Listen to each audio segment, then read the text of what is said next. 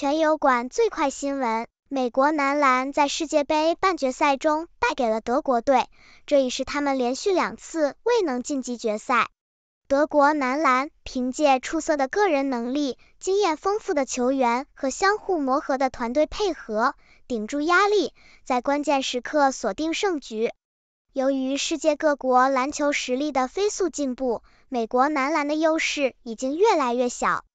虽然美国队仍有出色的球员，但像德国、塞尔维亚等球队也具备夺冠实力。篮球世界已经不再是美国统治的运动，他们的时代已经过去。订阅新闻极速递，最先知晓天下事。